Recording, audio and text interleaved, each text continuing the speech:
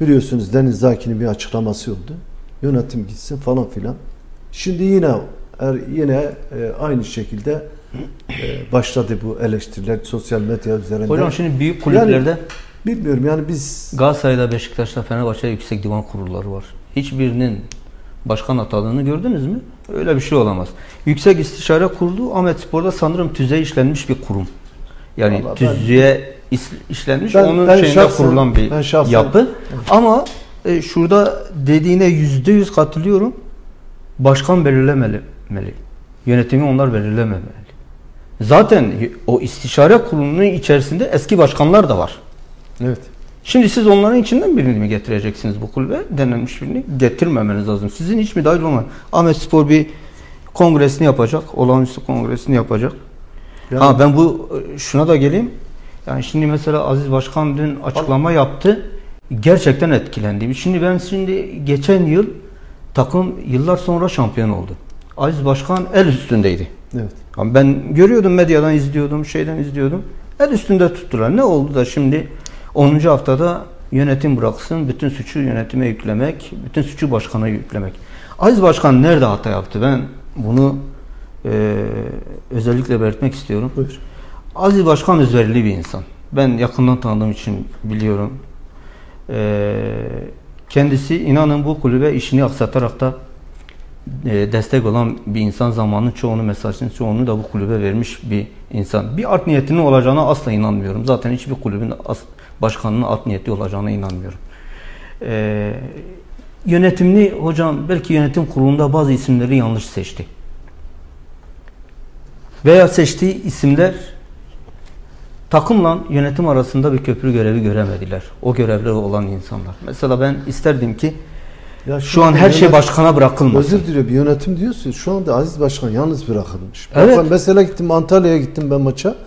Aziz Başkan orada bir iki tane yönetici yok.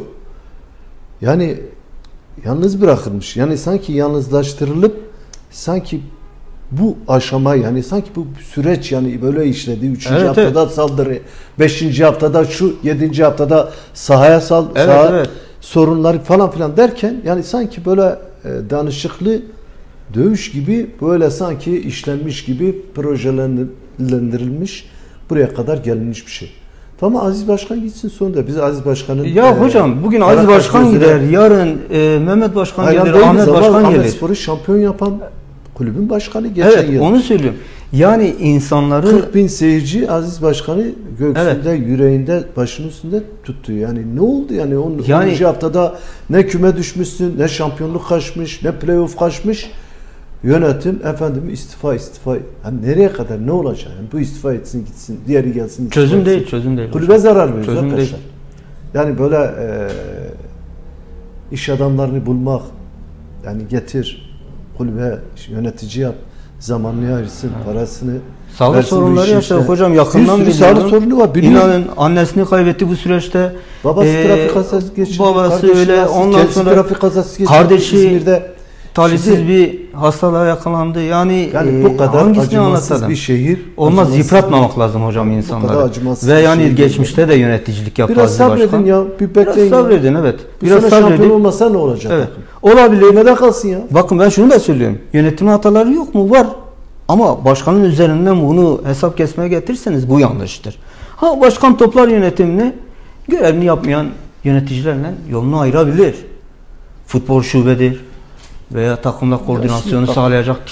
Sıkıntı ne? Yakından birinci Şimdi derece verdiği kişilerle ayırabilir. Şimdi bak Aziz Başkan kulüp başkanı değil.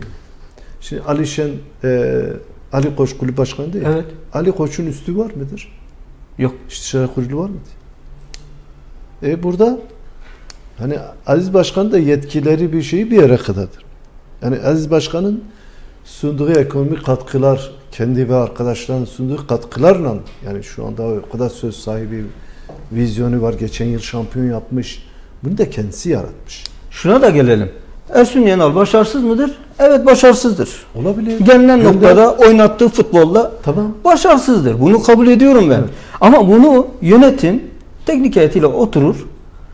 Süreç içerisinde değerlendirilir. Yollar ayırmak gerekiyorsa da ayırır ve hoca Ya bırakır. ilk giden Ersun Yanal gerek değil, son da Ersun Yanal değil. Değil. Ersun Yanal gidebilir. Değil mi? Hocam Göndeririz. hatırlıyor musunuz? Evet. Biz